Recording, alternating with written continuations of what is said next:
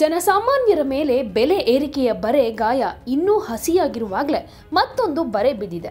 ಗೃಹ ಬಳಕೆಯ ಅಡುಗೆ ಅನಿಲ ಸಿಲಿಂಡರ್ ಬೆಲೆಯಲ್ಲಿ ಐವತ್ತು ರೂಪಾಯಿ ಹೆಚ್ಚಳವಾಗಿದ್ದು, ರಾಷ್ಟ್ರ ರಾಜಧಾನಿ ದೆಹಲಿಯಲ್ಲಿ ಒಂಬೈನೂರ ನಲವತ್ತೊಂಬತ್ತು ರೂಪಾಯಿ ಐವತ್ತು ಪೈಸಾ ಇದ್ದ ಹದಿನಾಲ್ಕು ಪಾಯಿಂಟ್ ಎರಡು ಕೆಜಿ ತೂಕದ ಸಿಲಿಂಡರ್ ಬೆಲೆ ಒಂಬೈನೂರ ತೊಂಬತ್ತೊಂಬತ್ತು ರೂಪಾಯಿ ಐವತ್ತು ಪೈಸೆಗೆ ಏರಿಕೆಯಾಗಿದೆ.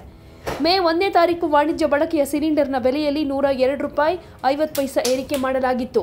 ರಾಷ್ಟ್ರ ರಾಜಧಾನಿ ದೆಹಲಿಯಲ್ಲಿ ಹತ್ತೊಂಬತ್ತು ಕೆಜಿ ವಾಣಿಜ್ಯ ಸಿಲಿಂಡರ್ ಬೆಲೆ ಎರಡು ಸಾವಿರದ ಮುನ್ನೂರ ಮೂವತ್ತೈದು ರೂಪಾಯಿ ಐವತ್ತು ಪೈಸೆ ಆಗಿದೆ. ಇದಕ್ಕೂ ಮುಂಚೆ ಅಂದ್ರೆ ಏಪ್ರಿಲ್ ಒಂದರಂದು ಇನ್ನೂರ ಐವತ್ತು ರೂಪಾಯಿ ಏರಿಕೆಯಾಗಿ ಹತ್ತೊಂಬತ್ತು ಕೆಜಿ ವಾಣಿಜ್ಯ ಸಿಲಿಂಡರ್ ಬೆಲೆ ಎರಡು ಸಾವಿರದ ಇನ್ನೂರ ಐವತ್ಮೂರು ರೂಪಾಯಿ ತಲುಪಿತ್ತು. ಈ ಹಿಂದೆ ಮಾರ್ಚ್ ಇಪ್ಪತ್ತೆರಡರಂದು ಅಡುಗೆ ಅನಿಲದ ಬೆಲೆಯನ್ನ ಐವತ್ತು ರೂಪಾಯಿಗೆ ಹೆಚ್ಚಿಸಲಾಗಿತ್ತು. ಈಗ ಮತ್ತೆ ಐವತ್ತು ರೂಪಾಯಿ ಹೆಚ್ಚಳವಾಗಿದ್ದು ಈ ದರ ಇಂದಿನಿಂದಲೇ ಜಾರಿಗೆ ಬರಲಿದೆ.